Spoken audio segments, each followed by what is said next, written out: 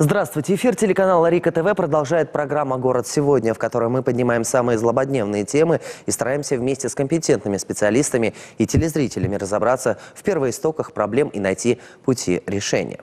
Одной из животрепещущих проблем в нашем городе является вывоз мусора. Ежедневные посты на эти темы в социальной сети Инстаграм стали настолько привычны, что кажется, будто эти жалобы уже неискоренимы. Вот, к примеру, в одном из последних постов житель улицы Братьев Жубановых, дома номер 296, корпуса 1, сетует на деятельность ТО «Тазакала», которая осуществляет вывоз мусора с этого района города. Свое недовольство он высказал в одной из инстагрупп. Якобы компания не выполняет свою работу должным образом, но при этом не забывает взимать плату за свои услуги. На что ТО «Тазакала» на своей страничке в Инстаграм парирует, что это не габаритный мусор, и вынос его контейнерным площадкам вообще является нарушением правил благоустройства, за что грозит штраф от 20 МРП и выше. Однако это не мешает актюбинцам продолжать складировать мебель, оконные рамы, коробки и другой строительный хлам. В итоге ТО «Тазакала», чтобы не доставлять неудобства соседям, недобросовестных горожан и не слышать свой адрес нареканий, вынуждена вывозить его, но по отдельному графику. Как приходится бороться с недобросовестными горожанами? Хватает ли спецтехники и людей? С какими еще проблемами сталкиваются в компании, которая занимается вывозом мусора, расскажет начальник производственного отдела ТО «Тазакала» Алибек Карабасов. Алибек, я приветствую вас в программе «Город сегодня». И начну беседу с того, что хватает ли вам вообще э, техники для того, чтобы вывозить мусор? Ну, во-первых, мы не оштрафовываем. Этим занимается местная полиция. Мы также с ними отрабатываем совместно с местной полицией, с управляющей компанией, а, жилищно-коммунальным хозяйством. Также прилагают усилия а, управляющей компании КСК, кондоминиум. Даже жители, бывает, помогают. То есть они фотографируют фотографии определенных нарушителей, присылают нам на личную страницу. А также, как я скажу, то, что жители бросают крупногабаритные отходы, это неправильно. То есть мы должны складировать отдельно ТБО, твердобытовые отходы. Э, это коммунальные отходы, получается, их контейнеры. А крупногабаритные, это туда входят деревья, ветки, а строительный мусор, мебель. То есть их должны самовывозом отдельно или за отдельную плату вывозить. Но хватает ли вам спецтехники, чтобы это все вывозить? А, спецтехники у нас хватает. Для этого мы сейчас меняем маршрутные графики, а, то есть полностью систему работы меняем. А, где надо, убираем технику. У нас есть вот задние погрузки, боковые погрузки техники, мусоровозы. А получается сейчас, как вы и слышали, на 11 микроне мы установили евроконтейнеры, то есть, которые до этого ездила, забирала там отходы а, боковые погрузки а, спецтехнику, мы сейчас ее направили на район Москва. Где а установили вот старые контейнеры. Скажите, какой район города курирует то Тазакала и сколько домов и абонентов вы вообще обслуживаете? А, наша компания курирует, получается, а, за, а, восточная сторона города, начиная с улицы Али Мулдагуловой.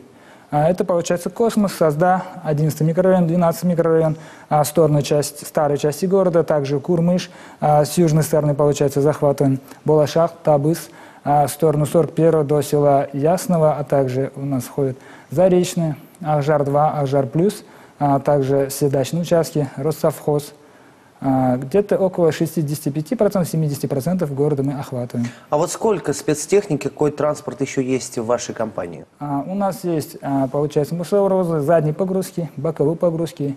А, также у нас есть а, для мобильной группы, которые вот вывозим крупногабаритные отходы, погрузчики, а, самосвалы. Также у нас есть полевомоющие машины, получается, уличные пылесосы, специальные техники для очистки дорог.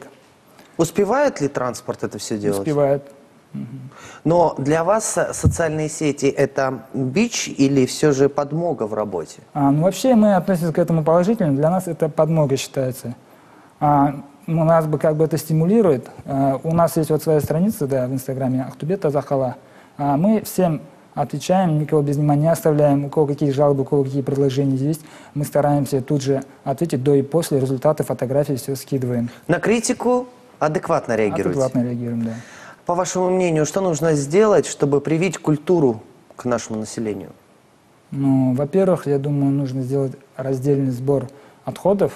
А, то есть, как я уже говорил, крупногабаритные отходы а, жители должны сами возить или за отдельную плату как бы а, не собирать это в контейнерной площадке или около контейнерной площадки. А сбор около контейнерной площадки это а, является нарушением мелкое хулиганство, да. Выходные Тогда... дни вы тоже работаете? Да, выходные дни мы работаем. Просто много жалоб поступало после того, как прошел праздник, тот же самый Новый год, либо Наурыз, и мусорные баки переполнены. И люди тут же начинают фотографии скидывать в социальные сети. А, вообще у нас производственный блок работает ежедневно, без выходных. И субботу, воскресенье. Если у людей есть какие-либо жалобы, куда они могут обращаться? А, они обращаются обычно а, через страницы. А, В основном через соцсети. социальные через сети. социальные сети, да, обращаются, а потом начинают а, уже в жилищную инспекцию, в Акимат обращаться, в исполнительные органы. Как вы боретесь с теми людьми, которые выносят мусор после ремонта квартир, старую мебель и так далее? Как-то вовлекаете полицейских, либо полиция работает с вами? Во-первых, мы штрафовать не имеем права, то есть это не входит в наши полномочия, штрафует местная полиция. А мы же отрабатываем совместно с местной полицией, с управляющими компаниями, а, жилищно-коммунальное хозяйство, также КСК и кондоминиум, даже жители а, свои усилия тоже прилагают, получается, могут отправить фотографии нарушителей, а, и, соответственно, местная полиция их штрафует. Получается, от 10 МРП начинается их штраф. Ну, а если мусор выносят ночью, как быть тогда? Ну, сейчас вот а, ведем работы, видите, ночью сейчас, да, бывает скидывают. Но я сейчас хочу также, мы сейчас через соцсети до людей доносим, если увидите вот такие нарушения, то, пожалуйста, снимите, зафиксируйте это и отправляйте нам страницу. А, хотя бы номер госмашины, госномер автомобиля, получается, ночью много скидывают. У нас очень много проблемных площадок, а, где именно ночью выбрасываются эти крупногабаритные отходы. Мешками выбрасывают, строительные отходы, получается, мебели, все подряд. А можно назвать эти самые объекты, куда большое скопление мусора? Этих объектов очень ночью. много. А, могу отметить, а, есть на Вегородке такие, а, Вегородок 29, 24, а, на восьмом микрорайоне Братья Жубана 296, а, 298 дома, на старой части тоже очень много, Чернязова 23, а, 30 лет Казахстана тоже выбрасывают очень много.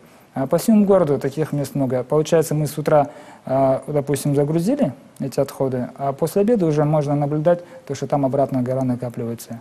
И мы с каждым годом это, все это с этим боремся, ведем работы определенные, разъяснительные работы. Алибек, спасибо за информацию вам. Надеемся, что люди будут активно принимать участие, наш город будет чище и красивее. И вам спасибо, то, что позвали нас на этот эфир. А, Благодаря вот а, вашему эфиру и вообще социальным сетям а, я хочу призвать жителей, чтобы они приложили свои усилия. Давайте вместе приложим свои усилия, чтобы город держали в чистоте и в уюте.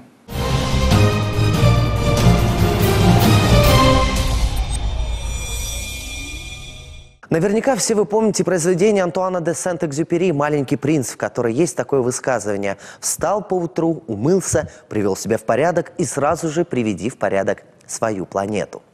Это золотое правило, которому нас учат с детства, вот только во взрослой жизни некоторые почему-то не следуют ему, а надо бы. Будьте здоровы, аккуратны и чистоплотны. До встречи в эфире на Рика ТВ.